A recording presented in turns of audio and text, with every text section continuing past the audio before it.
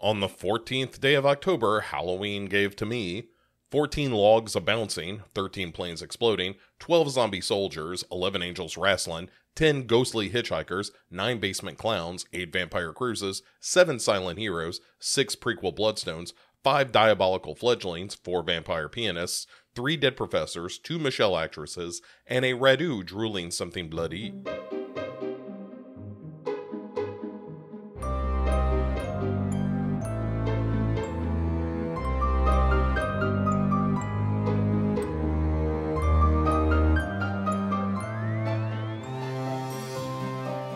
Hey everyone, and welcome back to another 31 Days of Halloween. It is day 14. It's a beautiful Saturday here at Dark Parade HQ. I would like to say I really did all of this Final Destination stuff just to talk about this movie. We are talking about Final Destination 2 today. It is easily the high water mark of the series as far as I'm concerned, and maybe, just maybe, one of the greatest films ever made. I love Final Destination 2 so much, and it. One of the things I wanted to talk about yesterday, but I didn't want to get into it without having this as a reference point, is that Final Destination is a real classy kind of movie, in the sense that it is trying to be an honest to goodness movie. Final Destination 2 makes the very quick pivot to we know why you're here. We know why you have come to this movie, and it is to see people die in strange and unusual ways, and to kind of tease you with the method of their death. And it has the greatest setup for the deaths. It has some of the greatest deaths in the series. It is just logical enough to hang your hat on, even though it's very silly, and and still doesn't always make a ton of sense. But what what are you gonna do? And it's got some of the best characters in the series. And i love this movie so much. I could watch it just about any time. I think final destination 2 is a genuine treat. And here is my explanation of why. Hello my name is bo. I'm a final destination 2 aholic. And here is my story. So to begin with it's got your typical group of teenagers as led by uh, AJ Cook, who, if you are a Criminal Minds fan, you know her from that series. She is one of the agents on that show, and and that I think is I, I probably saw this before I saw any Criminal Minds stuff, but I remember when I saw that I was like, oh yeah, from Final Destination 2. Uh, death is is coming for her, but it's the death of her career. I mean, what am I saying? Criminal Minds ran for you know 110 years and everybody on that show is wealthy beyond their wildest dreams as a result of it. So you know i'm just poking fun. It's parody allegedly. Anyway they're going on uh, some kind of trip. Doesn't matter what. Doesn't matter who or with how. Um, what happens though is there is a premonition. Aj cook has a premonition of this logging truck losing some of its logs that go bouncing down the highway. One of them smashes into a police car, which it just drives a, a log through the police car. And one of the things I like about this movie, and, and this isn't the goriest of them, I don't think, but it's pretty gory. And you see chunks oh the police officer flying out the back of this car as the log proceeds through it. Oh, mm, chef's kiss. Mwah. And, then it's just mayhem, right? It's cars flipping over, catching on fire. Uh, there's a, a, motorcyclist who, uh, you know, lands safe, like skids off his motorcycle and lands safely, only for his motorcycle to smash into him and murder him. It's just, you know, cars flipping over and exploding and other cars ramming into other cars. And it's incredible. Some of the stunt work in this is phenomenal. There is probably some CGI. If I went back and looked at it again, I could probably point out where it is. But I don't care. The old the overall effect. There are lots of practical stunts. There's some CGI to sweeten it all up. That's fine. That's how CGI ought to be used. Most of this movie is practical stuff. And as a result, it just sings, baby. It sings. and uh, so this whole introduction, like I've talked to a number of people that remember this setup, this whole log truck, and to this day, if I am behind a log truck on the interstate, I I get out from behind it. It's like fucking Jaws, where it's like, hey, I don't go swimming in the ocean because of Jaws. Actually, I do, but I don't go swimming in the ocean because Jaws was a cultural phenomenon. And I've run into people who, when I discuss this movie with them, are like, "Oh yeah, yeah, yeah. I don't. I'm, if I'm behind a log truck, I get out of the way. I saw Final Destination too. I know how this shit goes down. Them logs can go right through the car and and leave chunks of you know, on the other side of it. So that is fantastic. It's it's a, an incredible setup. My favorite of the series by far. And then of course AJ Cook wakes up and is like, "Oh my god, all of this is gonna happen. You know, we're gonna all gonna die today." So she makes everybody like they're on the on ramp to this interstate, and she makes everybody get up and holds everybody up. And of course, uh, you know, the, the cop, our cop character in the movie, comes over and is like, "What's going on here, ma'am?" And uh, you know, she's trying to explain that she's had this vision, and then sure enough, it comes to pass, right? Like the, once again, there is this incredible accident. Uh, AJ Cook has managed to save the lives of a bunch of people, and that's great. Good for her, right? But of course, that is not the end of it. Uh, we have, uh, you know, a similar situation as we had in the original Final Destination, where now Death feels cheated and is going to come for them. The first example of this is a guy who has just won the lottery and goes to his apartment. And this is where the movie introduces the Rube Goldberg nature of the deaths in the film. Where he uh, like part of his apartment catches fire. One one little detail I really like is that a bunch of old girlfriends are calling him up and are like, "Hey, I heard you won the lottery. It's been a while since we talked, but would you like to go out sometime?" A little sexist, but I find it funny. And then uh, he gets his hand stuck in a garbage disposal, and there's a fire starting, and all of this stuff, and you're like, man, like the question isn't is he going to die? The question is which of these crazy ass things going horribly wrong is going to kill him? You know, where's the misdirection? And he ends up freeing himself and getting out of his apartment, which is on fire, through the fire escape, takes it down, ends up falling, and the ladder slams down and stops inches away from his face. And he's like, Whew, I almost got killed by a ladder in a freak accident. And then the ladder releases and punches through his skull, killing him. And this is the point where AJ Cook, uh, when she gets word that this guy has been murdered, is like, wait a second, I bet we're final destination. And ends up, um, you know, trying to contact everyone and being like, hey, we're all going to be murdered horribly. Uh, and I'm having visions of how people are going to die, and you need to listen to me. And there's another great death with uh, a mother and her kid who are uh, the next to go. And the kid is going to the dentist and you're like oh shit this is this is gonna go bad. Aj cook by the way has this uh like, like vision of birds. And she's like oh birds are gonna kill him and he goes to this dentist office that's in a high rise and some birds are banging into the window and you're like ah that's how it's gonna happen like something's gonna happen where one of the birds bangs into the window and you know shit goes wrong and he's given some gas. His mouth is pried open, and there's like a mobile of fish above his head, and a plastic fish drops into his throat. And he's choking to death, but the dentist comes in and catches it just in time. And you're like, ah, curses. Death has been thwarted. Uh, this, you know, r- plastic fish is not going to be the thing that gets our, our kid then they go outside where AJ Cook and Michael Landes, uh, who's playing the cop, are like, "Hey, you're gonna die, you guys. We need to tell you something. There, there, it has something to do with pigeons." And this kid just sees a flock of pigeons on the ground and runs after them, sending them all up flying.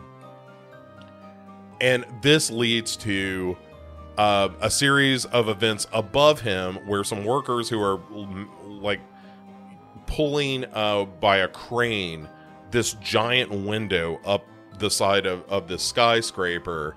It releases, and this kid gets fucking flattened by this giant pane of glass. Again, a really gruesome effect where you see this kid just come apart as the the pane of glass hits him. It's wonderful. And of course everybody, you know, freaks out.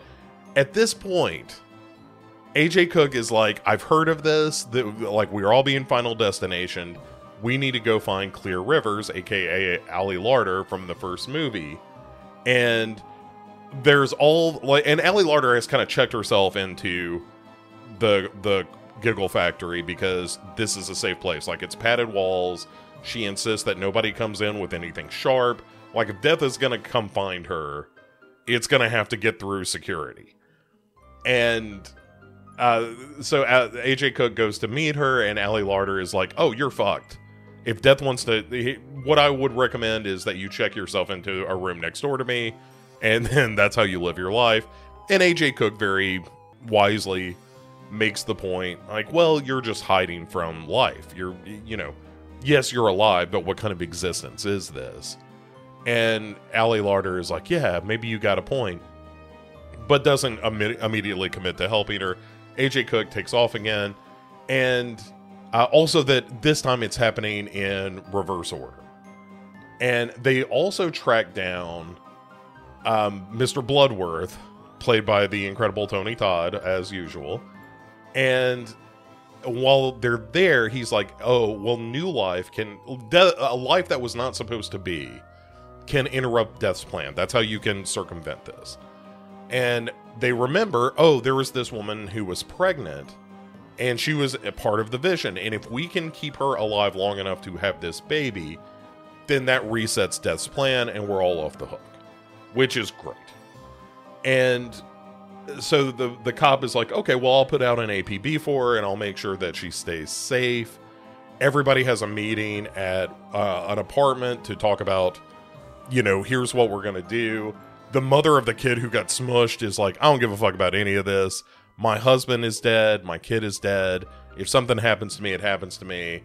I'm not sticking around. And meanwhile, Isabella, who is the woman who was uh, uh, having the baby, um, she gets pulled in by police and taken in for questioning or holding or whatever.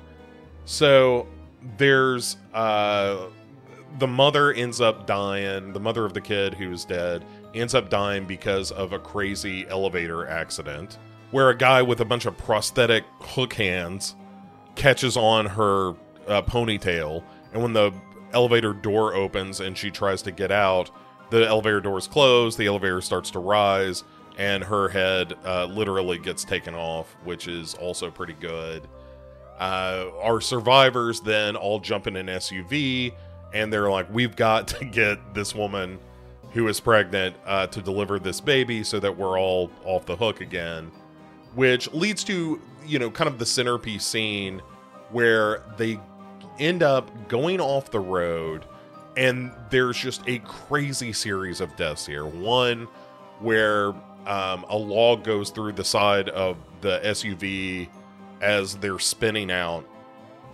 A woman who is in the front seat um, is trying to be freed, like they've got the jaws of life out, but it sets off the airbag, which thrusts her head back into a pipe that punctures the back of her skull.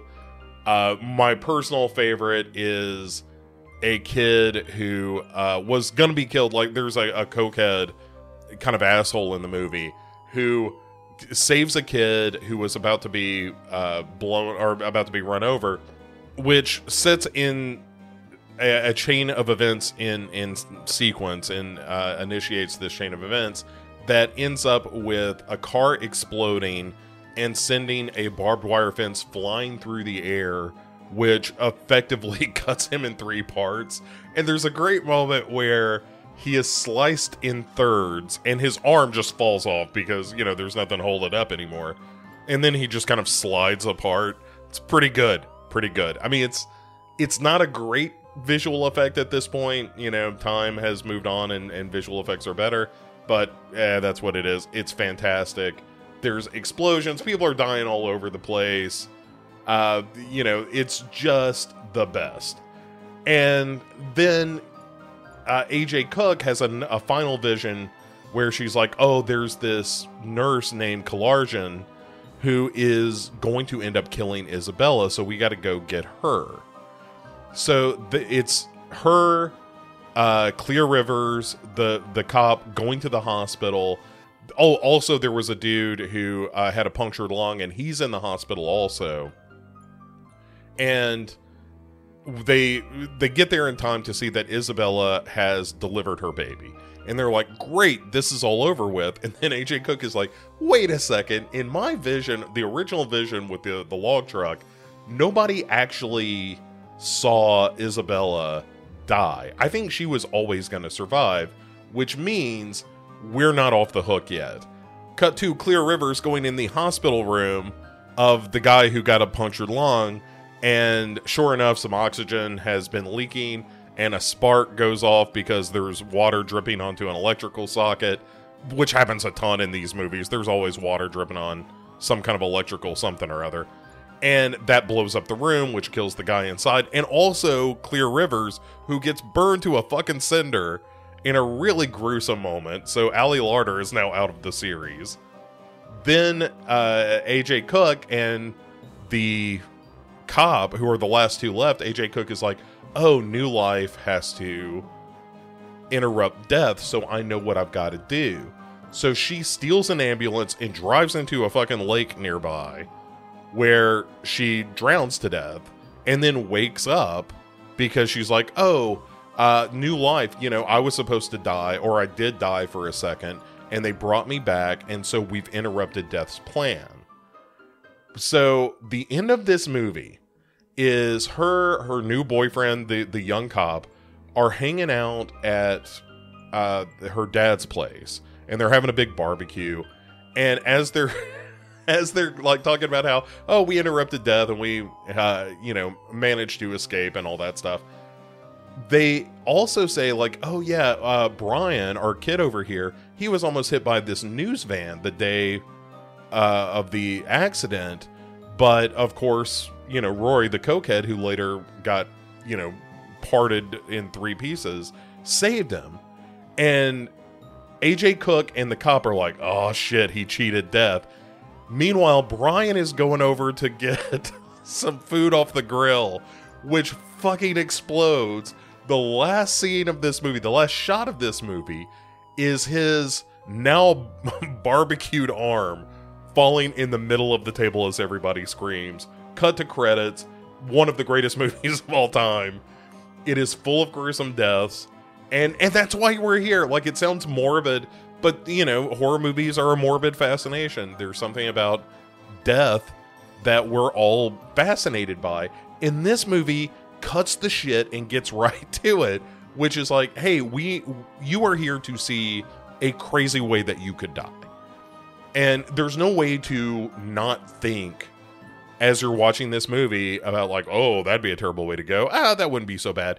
You know, it, it's confronting death in a real way, but doing it with this really dark sense of humor about it of like yeah this would be fucked up right imagine if you went out like this that's kind of the game of this movie but it knows what it is. It knows how to have fun with the premise.